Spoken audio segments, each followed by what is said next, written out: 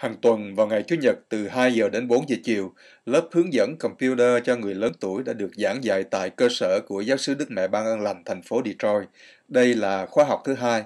Thầy tính cho chúng tôi biết. Chúng tôi muốn à, chỉ cho quý anh chị, cô bác ở đây là những phần về basic về computer để cách sử dụng computer giống như là Microsoft Word, Microsoft Excel hoặc là PowerPoint à, với phần là Internet Em tới giúp uh, chị Lan để set up cái email. Đây là bước đầu chị bắt đầu học, ờ, cái khóa đầu và mấy lớp trước chị không có mấy cái lớp trước chị không có đến dự nên um, uh, em đang set up cái email cho chị.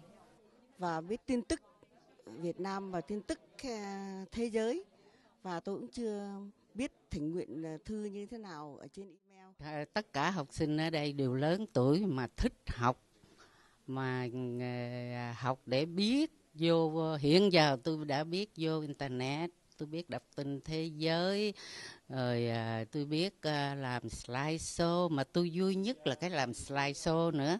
Rồi à, bây giờ bắt đầu học cái để à, làm cái thỉnh nguyện thư. Hồi trước tôi không biết thành ra tôi phải nhờ người ta ký. Được biết sau chiến dịch ký thỉnh nguyện thơ do đài SBTN phát động số người ghi tên theo học đã tăng lên các học viên đã học qua lớp căn bản nay đến để phụ một tay với thầy tính.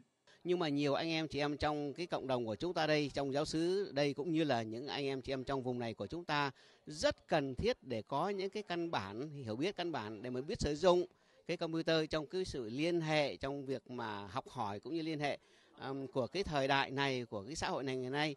Cho nên đó là cái lý do mà tôi rất sung sướng các anh em có lòng để mở cái lớp này đây. Tôi rất là hoan nghênh và welcome và cảm ơn anh em rất nhiều. Quý vị vừa theo dõi một số hình ảnh về lớp dạy computer tại thành phố Detroit. Việt Hải tường trình từ tiểu bang Michigan.